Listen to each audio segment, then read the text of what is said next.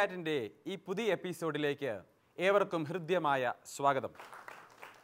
സാർവത്രിക സഭയുടെ മതബോധന ഗ്രന്ഥത്തെക്കുറിച്ച് ആഴത്തിൽ പഠിക്കുന്നതിന് വേണ്ടി തലശ്ശേരി അതിരൂപതയും ശാലൂൺ ടി വിയും ചേർന്ന് നടത്തുന്ന പ്രോഗ്രാമാണ് സി കാറ്റ്. ഈ പ്രോഗ്രാമിൽ ക്ലാസുകൾ നയിക്കുന്നതിനും നമ്മുടെ ചോദ്യങ്ങൾക്ക് ഉത്തരം നൽകുന്നതിനുമായി ഇവിടെ എത്തിച്ചേർന്നിരിക്കുന്നത് തലശ്ശേരി അതിരൂപതയുടെ സഹായമെത്രാനും ഭാരത കത്തോലിക്ക മെത്രാൻ സമിതിയുടെ ദൈവശാസ്ത്ര കമ്മീഷൻ അംഗവുമായ മാർ ജോസഫ് പാംപ്ലാനി പിതാവാണ്. പിതാവിനെ ഏറ്റവും സ്നേഹത്തോടുകൂടെ ഈ പ്രോഗ്രാമിലേക്ക് സ്വാഗതം ചെയ്യുന്നു. അതോടൊപ്പം തന്നെ ഇന്ന് ഈ ക്ലാസ്സിൽ പങ്കെടുക്കുന്നതിനും തങ്ങളുടെ സംശയങ്ങളും ചോദ്യങ്ങളും ഉന്നയിക്കുന്നതിനുമായി ഇവിടെ എത്തിച്ചേർന്നിരിക്കുന്നത് തലശ്ശേരി അതിരൂപതയിലെ തോമാപുരം സെന്റ് തോമസ് ഫൊറോന ദേവാലയത്തിലെ മതാധ്യാപകരാണ്. അധ്യാപകരെയും ഏറ്റവും സ്നേഹത്തോടുകൂടെ സ്വാഗതം ചെയ്യുന്നു. ഈ എപ്പിസോഡിൽ കഴിഞ്ഞ എപ്പിസോഡിന് തുടർച്ചയെന്നോണം പൗരോഹിത്യം എന്ന വിഷയത്തെക്കുറിച്ചാണ് നമ്മൾ ചർച്ച ചെയ്യുന്നത്. ഈ കുതാശയെക്കുറിച്ച് കൂടുതൽ പഠിക്കുന്നതിനും നമ്മുടെ സംശയങ്ങൾ ദൂരീകരിക്കുന്നതിനുമായി നമുക്ക് പരിശ്രമിക്കാം. ഓക്കെ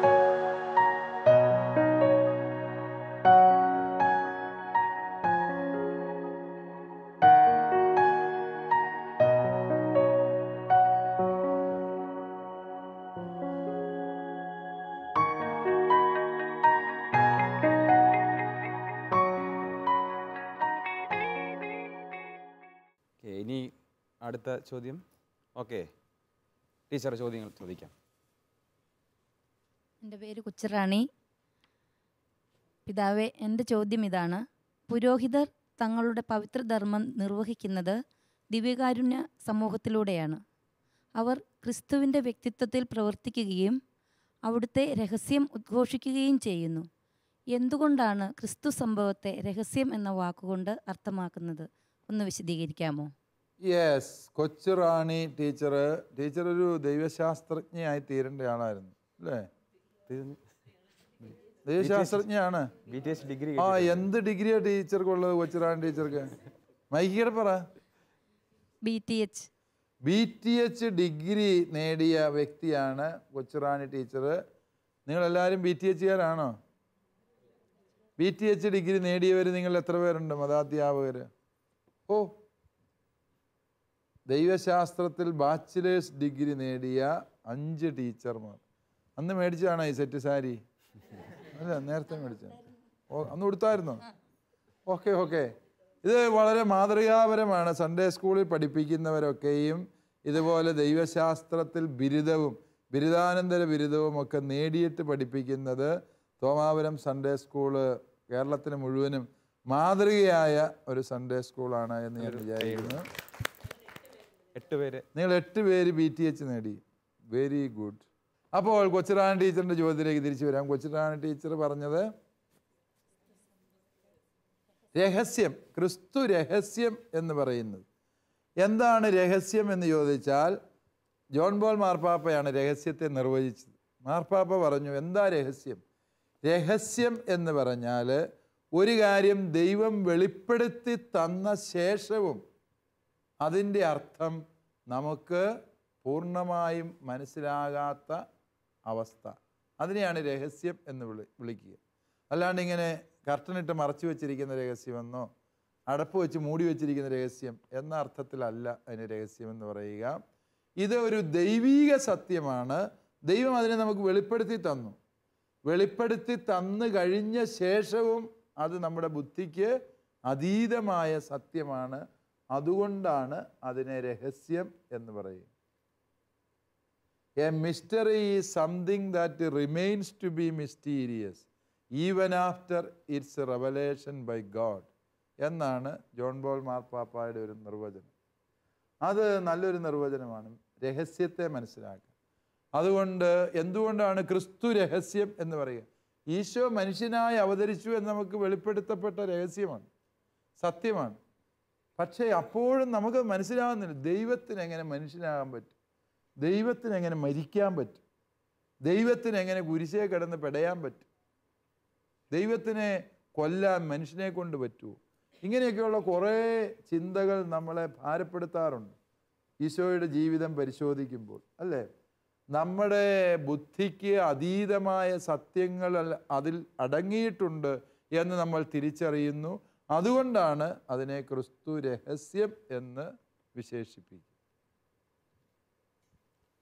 രഹസ്യങ്ങളെക്കുറിച്ച് പിതാവ് പറഞ്ഞത് നമുക്ക് രഹസ്യങ്ങളെക്കുറിച്ചുള്ള അതിന്റെ അർത്ഥം കൂടുതൽ മനസ്സിലാക്കുവാനായിട്ട് സാധിച്ചു. ഇനി അടുത്ത ചോദ്യം ആരാണ് ചോദിക്കുന്നത്? Okay teacher. പിതാവേ എന്റെ പേര് മേഴ്സി. വിശുദ്ധ ജോൺ മരിയ വിജാനി ഇപ്രകാരം പറഞ്ഞിട്ടുണ്ടല്ലോ. ലോകത്തിൽ പുരോഹിതൻ ആരെന്ന് മനസ്സിലാക്കി യഥാർത്ഥത്തിൽ മനസ്സിലാക്കിയാൽ നാം മരിക്കും. ഇതിന്റെ അടിസ്ഥാനത്തിൽ ഒരു യഥാർത്ഥ പുരോഹിതൻ എപ്രകാരം ആയിരിക്കണം? പുരോഹിതരിലെ ദൈവസ്നേഹം അനുഭവിക്കുവാൻ ദൈവജനം എന്തെല്ലാം ചെയ്യണം? യെസ് ടീച്ചറിന്റെ ചോദ്യം വളരെ നല്ല ചോദ്യമാണ്. ടീച്ചറിന്റെ പേരൊന്നുകൂടെ പറഞ്ഞു? മേഴ്സി. മേഴ്സി. യെസ് വളരെ മേഴ്സിഫുൾ ആയ ഒരു ചോദ്യമാണ് മേഴ്സി ടീച്ചർ ചോദിച്ചത് വളരെ കാരുണ്യമുള്ള ചോദ്യം. പുരോഹിതനെ മനസ്സിലാ പുരു പുരോഹിതന് താൻ ആരാണ് എന്ന് പുരോഹിതന് യഥാർത്ഥത്തിൽ മനസ്സിലായായിരുന്നെങ്കിൽ അവൻ മരിച്ചു പോകുമായിരുന്നെന്നാണ് വിയാനി പുണ്യാളം പറഞ്ഞു കാരണം എന്താണ്? അത്രമേൽ മഹോന്നതമായ കൃപാപൂർണമായ ഒരു സ്ഥാനമാണ് ദൈവം പുരോഹിതന് നൽകിയിരിക്കുന്നത് എന്നതിനാലാണ് ദൈവത്തിന്റെ സ്നേഹത്തിന്റെ ആഴം മനസ്സിലാക്കിയാൽ ആ പുരോഹിതൻ മരിച്ചു പോകുമായിരുന്നു എന്നാണ് അദ്ദേഹത്തിന്റെ ഒരു നിരീക്ഷണം. അത് നല്ല നിരീക്ഷണമാണ്. പക്ഷേ ഇപ്പം ടീച്ചർ എന്നോട് ചോദിച്ചത് അതെന്നാണെന്നൊന്ന് വിശദീകരിക്കാവോ അല്ലേ? അപ്പോൾ ഞാനത് മനസ്സിലാക്കിയിട്ട് അത് വിശദീകരിച്ചാൽ എന്ത് സംഭവിക്കും? ടീച്ചർ മരിച്ചു പോവുകയല്ല ഞാനാ മരിച്ചു പോകുന്നു അല്ലേ? അതിനു വേണ്ടി ചോദിച്ചൊരു ചോദ്യമാണ്. ഒരു പുരോഹിതൻ ആര് എന്ന് ചോദിച്ചാൽ പട്ടം കൊടുക്കൽ ശുശ്രൂഷയിലെ സിറോ മലബാർ ക്രമത്തിൽ ഒരു പാട്ടുണ്ട്. എത്ര സമുന്നതം ഇന്ന് പുരോഹിത നീ ഭരമേറ്റ വിശിഷ്ട സ്ഥാനം. അഗ്നിമയന്മാർ ദിവ്യാരൂപികൾ ആയതിൽ അത്ഭുതം കൊള്ളും. അസീസിയിലെ പുണ്യാളൻ പറഞ്ഞു പരിശുദ്ധ ദൈവമാതാവും ഒരു വൈദികനും ഒന്നിച്ച് നടന്നു വന്നാൽ ഞാൻ ആദ്യം വൈദികന് സ്തുതിയല്ല. കാരണം വൈദികൻ ഈശോമിശിക തന്നെയാണ്. പരിശുദ്ധ അമ്മ ഈശോയുടെ അമ്മ മാത്രം. ഈശോയെ വ്യക്തിപരമായി പ്രതിനിധാനം ചെയ്യുന്ന സ്ഥാനം ഒരു പുരോഹിതനുള്ളതാണ്. പുരോഹിതന് ദൈവം രണ്ട് നാണയങ്ങൾ നൽകിയിരിക്കും രണ്ട് താക്കോൽ കൊടുത്തിട്ടുണ്ട്. പഴയ കാലത്ത് നാണയം ഉപയോഗിച്ചാണ് പൂട്ട് തുറന്നത്. നാണയത്തിന് ചില കൊതയൊക്കെ ഇട്ട് അതാണ് താക്കോലായിട്ട് ഉപയോഗിച്ചത്. അതുകൊണ്ടാണ് നാണയം താക്കോൽ എന്ന പദങ്ങൾ പരസ്പര ബന്ധിയായി പറയും എന്താന്ന് ചോദിച്ചു കഴിഞ്ഞാൽ എന്താ ഈ രണ്ട് താക്കോൽ? സ്പെയർ കീ അല്ല ബൈക്ക് ഓടിക്കുന്നവർ രണ്ട് താക്കോലുണ്ട് ബൈക്കിന് അല്ലേ? എന്താണ്? ചിലത് രണ്ടുകൂടി ഒന്നിച്ച് ഒരേ കൊളുത്തേലിട്ടുകൊണ്ട് നടക്കും. പോകുമ്പം രണ്ടുകൂടെ പോയി കിട്ടും അല്ലേ? അങ്ങനത്തെ താക്കോലല്ല ഈ വൈദികന് കിട്ടിയ രണ്ട് താക്കോൽ ഒന്ന് സ്വർഗം തുറന്ന് പരിശുദ്ധാത്മ വരപ്രസാദം ഈ ഭൂമിക്ക് കൊടുക്കാനുള്ള താക്കോൽ രണ്ട് നരകത്തെ അടച്ചുപൂട്ടി നരകപിശാചിന്റെ പ്രവൃത്തികളെ ബന്ധിക്കാനുള്ള താക്കോൽ ഇത് രണ്ട് അധികാരവും പുരോഹിതന് ദൈവം കൊടുത്തിട്ടുണ്ട്. പുരോഹിതൻ വിളിച്ചാൽ ദൈവം സ്വർഗത്തിൽ നിന്ന് ഇറങ്ങി വരും. അതാണ് വൈദികര അൾത്താരയിൽ ചെയ്യുന്നത്. ദൈവമേ നിന്റെ പരിശുദ്ധാത്മാവിനെ അയക്കണമേ എന്ന് ലത്തീൻ കുർബാനയിൽ പ്രാർത്ഥിക്കും. സുറിയാനിക്കാർ പ്രാർത്ഥിക്കും. കർത്താവായ ദൈവമേ നിന്റെ പരിശുദ്ധാത്മാവ് എഴുന്നള്ളി വരട്ടെ എന്ന്. ചില ചേട്ടന്മാർ എന്നോട് ചോദിച്ചിട്ടുണ്ട് ഈ വരട്ടെ എന്നൊക്കെ കൽപ്പിക്കാൻ പരിശുദ്ധാത്മാവ് എന്നെ അച്ഛന്റെ വീട്ടിലുള്ള ആളാണ്. അതെ പൗരോഹിത്യ അധികാരമാണത്. പുരോഹിതന് ദൈവം കൊടുത്ത അധികാരമാണ് സ്വർഗത്തിൽ നിന്ന് പരിശുദ്ധ റൂഹായെ വിളിച്ചിറക്കാനുള്ള അധികാരം. പുരോഹിതൻ അങ്ങനെ പൗരോഹിത്യ അധികാരത്തിൽ പ്രാർത്ഥിക്കുമ്പോൾ സ്വർഗത്തിൽ നിന്ന് പരിശുദ്ധാത്മാവ് എഴുന്നള്ളി വരുന്നു എന്ന് നാം വിശ്വസിക്കുന്നു നിന്റെ പാപങ്ങൾ മോചിക്കപ്പെട്ടിരിക്കുന്നു എന്ന് പറയുമ്പോൾ സ്വർഗവും ഭൂമിയും ആ പാപമോചനത്തെ അംഗീകരിക്കുന്നു. അങ്ങനെ ചിന്തിച്ചു നോക്കിയാൽ പൗരോഹിത്യത്തിന് ദൈവം നൽകിയിരിക്കുന്ന അധികാരം അത്ഭുതാവഹമാണ്. ഈ ഭൂമിയിൽ ഒരു മനുഷ്യ വ്യക്തിക്കും അത്രമേൽ വലിയ അധികാരം ദൈവം കൊടുത്തിട്ടില്ല.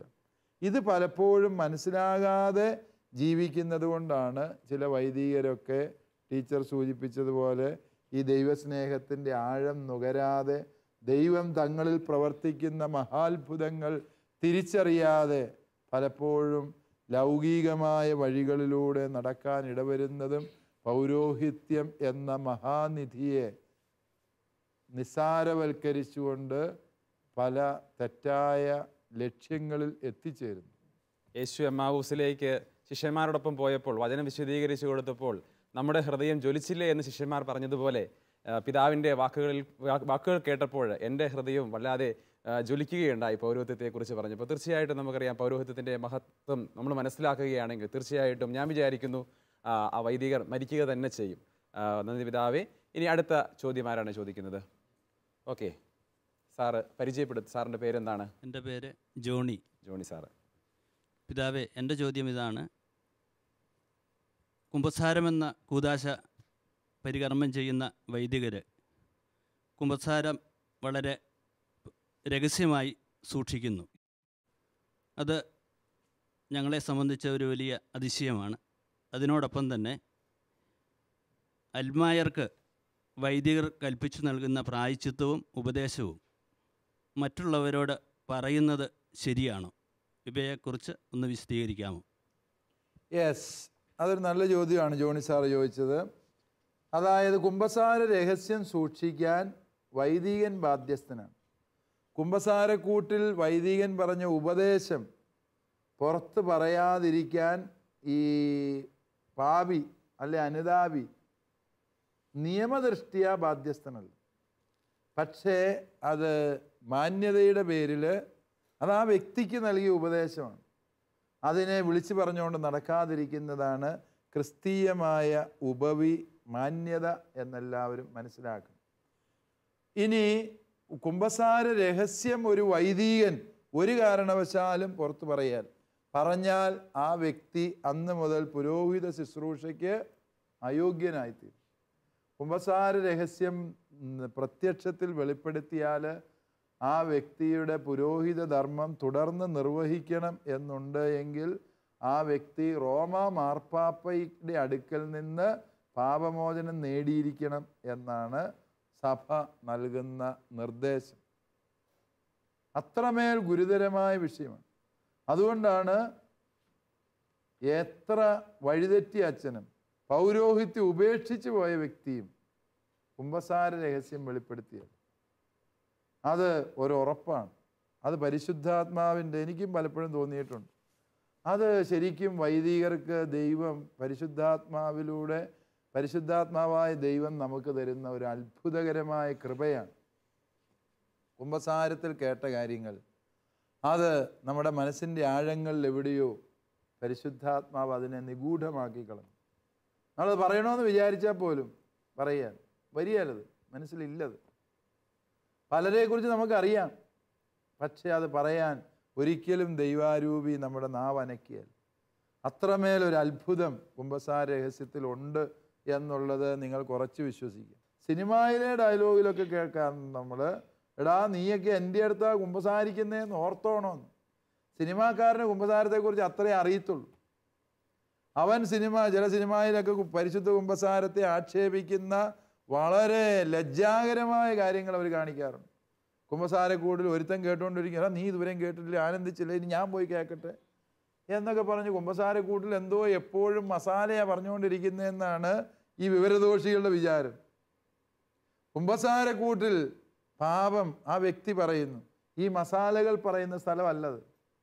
അത് ഇവന്റെ ഒരു തെറ്റിദ്ധാരണയാണ് ആ വ്യക്തി എങ്ങനെ ആത്മീയമായി വളരാൻ പറ്റും എന്ന് ആ വ്യക്തി ഉപദേശം സ്വീകരിക്കുന്ന തന്റെ ആത്മാവിനെ കഴുകി വിശുദ്ധീകരിക്കാനുള്ള വഴികൾ തേടുന്ന സ്ഥലമാണ് കുംഭസാരം.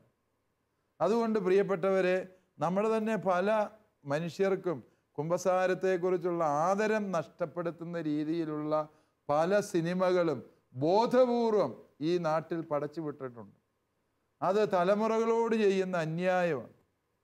നമ്മളും ചിന്തിക്കേണ്ടതാണ്. നമുക്ക് കിട്ടിയ ഒരു വലിയ അനുഗ്രഹമാണ് കുംഭസാരം.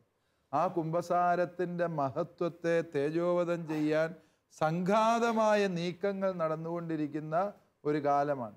അതുകൊണ്ട് കുംഭസാരത്തിന്റെ പവിത്രത സൂക്ഷിക്കാൻ അച്ഛന്മാർ മാത്രമല്ല ഞാൻ എന്റെ ആത്മാവിന്റെ അവസ്ഥ എന്റെ ആത്മീയ പിതാവായ അച്ഛന്റെ മുമ്പിൽ തുറന്നു വെച്ചു. അദ്ദേഹം എന്റെ ആത്മാവിനെ വിലയിരുത്തി നടത്തിയ സംഭാഷണം അല്ലെങ്കിൽ വിലയിരുത്തലുകൾ അത് എനിക്ക് വേണ്ടി നൽകപ്പെട്ടതാണ്. അത് ഈശോ എന്നോട് പറഞ്ഞതാണ് എന്ന ബോധ്യത്തോടെ സ്വീകരിക്കുകയും അത് ജീവിക്കുകയും ചെയ്യേണ്ടതാണ്.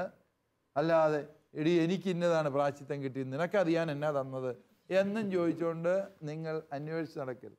അതുപോലെ തന്നെ മറ്റൊരാളുടെ കുംഭസാരം ഒളിഞ്ഞു കേൾക്കുന്നത് ചാവുദോഷത്തിനും കീഴിൽ കടപ്പെടുത്തപ്പെട്ട കുറ്റമാണ്. കുംഭസാരത്തിന്റെ പവിത്രത സൂക്ഷിക്കാൻ അച്ഛനും അനിതാപിക്കും ഒരുപോലെ ഉത്തരവാദിത്വമുണ്ട് എന്ന് തിരിച്ചറിയും. കുംഭസാരത്തെക്കുറിച്ചുള്ള ചില നേർക്കാഴ്ചകൾ പിതാവ് ഇപ്പോൾ നമുക്ക് നൽകി. ഇനി അടുത്ത ചോദ്യം ആരാണ് ചോദിക്കുന്നത്? ഓക്കെ ബെന്നി സാറ് തന്നെയാണ്. പിതാവെ ഒരു വൈദികൻ ഒരുക്കമില്ലാതെയോ പാപാവസ്ഥയിലോ വിശ്വാസമില്ലാതെയോ ഒരു കൂതാശ പരകർമ്മം ചെയ്യുകയാണെങ്കിൽ അതിന്റെ ഫലം വിശ്വാസികൾക്ക് കിട്ടുമോ? അതുപോലെ തന്നെ ആ കൂതാശ സാധുവാണോ? ഒന്ന് വ്യക്തമാക്കാവോ? യെസ് ഇതും നല്ലൊരു ചോദ്യമാണ്. ഒരു അച്ഛൻ പാപാവസ്ഥയിൽ വിശുദ്ധ കുർബാന അർപ്പിക്കും അത് ഗുരുതരമായ പാപമാണ് ലഘുപാപമാണ്. രാത്രിയിൽ അച്ഛനെ ആക്രമിക്കാൻ വന്ന ഒരാളെ അച്ഛൻ അടിച്ചു കൊന്നു. എന്നിട്ട് അച്ഛൻ കുളിയും കഴിഞ്ഞ് രാവിലെ വന്ന് കുർബാനയില്ല. ഇനി സ്വയരക്ഷയ്ക്ക് വേണ്ടിയാണ് അതിനകത്ത് പാപമില്ല എന്ന് വിചാരിക്കും. അതല്ല എങ്കിൽ അച്ഛൻ ആരുടെയെങ്കിലും രാത്രി പോയി ഒരു പ നൂറ് പവൻ അടിച്ചു മാറ്റിക്കൊണ്ട് വന്നു. സങ്കല്പമാണ്. അത് ഏതച്ഛനെ കുറിച്ചായിരിക്കും ഉദ്ദേശിച്ചതെന്ന് വിചാരിച്ചുകൊണ്ട് നിങ്ങൾ തലവഹിക്കരുത് അതായത് അങ്ങനെ എന്തെങ്കിലും മോഷണം നടത്തി അച്ഛൻ കുർബാനയിൽ. അല്ലെ വ്യഭിചാരം ബന്ധത്തിൽ ഏർപ്പെട്ട വൈദികൻ വിശുദ്ധ കുർബാന അർപ്പിച്ചു. ഇങ്ങനെയൊക്കെ സംഭവിക്കാം. ഇല്ല എന്നൊന്നും ഞാൻ പറയുന്നില്ല. അങ്ങനെയൊക്കെ സംഭവിക്കാം. പക്ഷേ എന്താണ് സഭ അതേക്കുറിച്ച് പറയുന്നത്? ആ വൈദികന്റെ വ്യക്തിപരമായ വിശുദ്ധി അല്ല ആ കൂതാശയെ സാധുവാക്കി തീർക്കുന്നു മറിച്ച് വിശുദ്ധ കുർബാനയിൽ അൾത്താരയിൽ പുരോഹിതന്റെ രൂപത്തിൽ അവിടെ നിൽക്കുന്ന ആരാണ്? ഈശോമിശിയ തന്നെ അതുകൊണ്ടാണ് പല സുപ്രധാന പ്രാർത്ഥനകളും ഞാൻ എന്നാണ് അവിടെ പറയുന്നത്. ഇത് എന്റെ ശരീരമാകുന്നു എന്നാണ് അച്ഛൻ പറയുന്നത്. അച്ഛന്റെ എൺപത് കിലോ തൂക്കമുള്ള ശരീരത്തിൽ നിന്ന് ഒരു കഷ്ണം എടുത്താണ് അച്ഛൻ കാണിച്ചത്. അല്ല അച്ഛൻ ഉയർത്തി കാണിക്കുന്നത് ഈശോമിശിയായ തന്നെ. ഇത് എന്റെ ശരീരം എന്ന് ഈശോ പറയുമ്പോൾ പറ എന്ന് വൈദികൻ ഉച്ചരിക്കുമ്പോൾ യഥാർത്ഥത്തിൽ അവിടെ ആരാണ് ഉച്ചരിക്കുന്നത്? ഈശോ തന്നെ. സമാധാനം നിങ്ങളോടുകൂടെ. അച്ഛന് തന്നെ സമാധാനം ഇല്ലാത്ത അവസ്ഥയിലായിരിക്കും. പക്ഷേ സമാധാനം ആശീർവദിച്ച് ആ സമാധാനം നൽകുന്ന ആരാണ്? ഈശോ മിശിക തന്നെ. സോ ഈശോയാണ് യഥാർത്ഥത്തിൽ അവിടെ പ്രവർത്തന നിരതനായിരിക്കുന്നത് എന്ന ബോധ്യം നമുക്ക് വേണം. അതാണ് കൂതാശകളിൽ സംഭവിക്കുക. അതുകൊണ്ട് അച്ഛന്റെ വ്യക്തിപരമായ വിശുദ്ധി അച്ഛന് ഗുണകരമാണ് ആ കൂതാശയിലൂടെ മറിച്ച് അച്ഛന്റെ വിശുദ്ധിക്കുറവ് ആ കൂതാശയിൽ പങ്കുചേർന്നവരുടെ വിശുദ്ധീകരണത്തിന് തടസ്സമല്ല. കാരണം ഈശോയാണ് ഓരോ കൂദാശയുടെയും യഥാർത്ഥ കാർമ്മികൻ എന്ന് നാം തിരിച്ചറിയും അതുപോലെ നമുക്ക് കിട്ടുന്ന വരപ്രസാദം അത് അച്ഛന്റെ എന്തെങ്കിലും നന്മയല്ല നമുക്ക് കിട്ടുന്നത് പരിശുദ്ധാത്മാവിനെയാണ് നമുക്ക് കിട്ടുന്നത്. പരിശുദ്ധാത്മാവിനെ മലിനമാക്കാൻ അച്ഛന്റെ പാപത്തിന് പറ്റുമോ? ഇല്ല. അതുകൊണ്ട് അച്ഛന്റെ പ്രവർത്തികൾ അതിനെ ദോഷകരമായി ബാധിക്കില്ല. എന്ന് പറയുമ്പോൾ ഒരു കാര്യം നമ്മൾ മനസ്സിലാക്കേണ്ടത് അച്ഛൻ വ്യക്തിപരമായി വിശുദ്ധിയോടെ ആ കർമ്മം നിർവഹിക്കുമ്പോൾ ആ കർമ്മത്തിന്റെ വരപ്രസാദം അനുഭവിക്കാൻ അച്ഛനും സാധിക്കുന്നു. അതില്ലാതെ പോകുമ്പോൾ ആ കൃപ അച്ഛന് നിഷേധിക്കപ്പെടുന്നു. അതേസമയം വിശ്വാസികൾക്ക് ലഭിക്കുകയും ചെയ്യുന്നു എന്നതാണ് സത്യം. ഇനി ഒരു ആശയവും കൂടെ സഭ ഇതേക്കുറിച്ച് പറയുന്നുണ്ട്. വൈദികൻ പ്രാർത്ഥിക്കുമ്പോൾ ഇപ്പോൾ വ്യക്തിപരമായ വിശുദ്ധിയുടെ കുറവാണ്. അതല്ലേ കുർബാനയല്ലേ? ഇപ്പോൾ ശ്രദ്ധിക്കാതെ ഉറക്കം വന്നു. രണ്ട് പ്രാർത്ഥന വിട്ടുപോയി. ആ കുർബാന സാധുവാണോ എന്നൊക്കെ നമുക്ക് സംശയം തോന്നും. അല്ലേ? ഈ ശ്രദ്ധക്കുറവ് ഒരു പ്രശ്നം തന്നെയാണ്. അങ്ങനെ വരുമ്പോൾ രണ്ട് പ്രാർത്ഥന വിട്ടുപോയി. ആ അച്ഛന്റെ രണ്ട് പ്രാർത്ഥന പോയി. ഇത് മുഴുവൻ കുർബാന കണ്ടോ? ഇല്ലയോ? ആകെ സംശയം ചില ചേർച്ചിമാർക്കുണ്ടായിരുന്നു അതിനെക്കുറിച്ച് തിരുസഭ പഠിപ്പിക്കുന്നത് അച്ഛന്റെ വീഴ്ചകൾ വാസ്തവത്തിൽ എന്താണ് എക്ലേസിയ സൂപ്ലത്ത് എന്ന് പറയുന്ന ഒരു ആശയമുണ്ട്. സഭ പരിഹരിക്കുന്നു എന്നാണ് അതിന്റെ അർത്ഥം. എക്ലേസിയ സുപ്ലത്ത്. സഭയാണത് പരിഹരിക്കുന്നത്. എന്ന് പറഞ്ഞാൽ വച്ചൻ സഭയുടെ നാമത്തിലാണ് ആ ശുശ്രൂഷ ചെയ്യുന്നത്. അതുകൊണ്ട് അച്ഛൻ ചെയ്തതിൽ എന്തെങ്കിലും അശ്രദ്ധയോ കുറവോ ഉണ്ടായിട്ടുണ്ട് എങ്കിൽ അത് ആര് പരിഹരിച്ചിട്ടുണ്ട്? തിരുസഭ അത് പരിഹരിച്ചിട്ടുണ്ട്. എന്നതാണ്. സഭയുടെ പുണ്യഭണ്ഡാകാരത്തിൽ നിന്ന് ആ കുറവിനെ തിരുസഭാ മാതാവ് പരിഹരിച്ചിട്ടുണ്ട് എന്ന സത്യവും നമ്മൾ തിരിച്ചറിയും പൗരോഹിത്യത്തെക്കുറിച്ചുള്ള ചർച്ചകൾ ഇവിടെ അവസാനിക്കുന്നില്ല. വീണ്ടും അടുത്ത എപ്പിസോഡിൽ കാണുന്നതുവരെ നന്ദി നമസ്കാരം.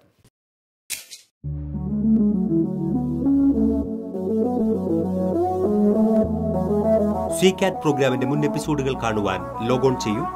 www.shalomtv.tv slash ccat.